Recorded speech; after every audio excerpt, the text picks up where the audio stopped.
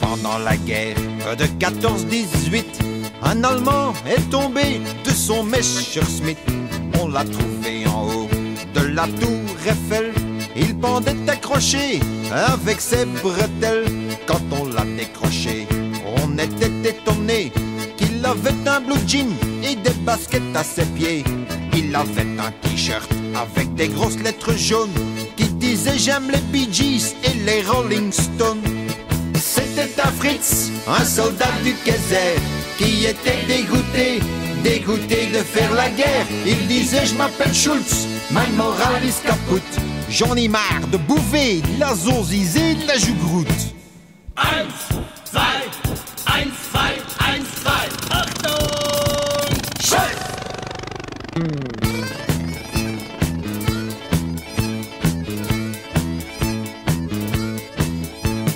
Comme il avait plein de marques dans ses poches, tout le monde a dit ce Fritz, ce n'est pas une cloche. Sans au revoir ni merci, il a pris un taxi, il a fait la nouba pendant trois jours et trois nuits. Quand on l'a retrouvé complètement dans le cirage, il ronflait comme un vieux, un vieux moteur en rodage. Quand on l'a réveillé, il s'est mis à crier Laissez-moi roupiller, je suis complètement beurré. C'était un, un soldat du Kaiser qui était dégoûté, dégoûté de faire la guerre. Il disait Je m'appelle Schultz, my moral is kaput. J'en ai marre de bouffer de la de la jougroute. Eins, zwei, eins, zwei, eins, zwei.